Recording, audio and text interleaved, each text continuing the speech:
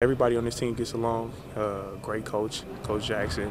Uh, the coaching staff is, is, has done a great job of preparing us for every game, and uh, I'm just having a, I'm having a ton of fun over here. Carl Landry is an outstanding player.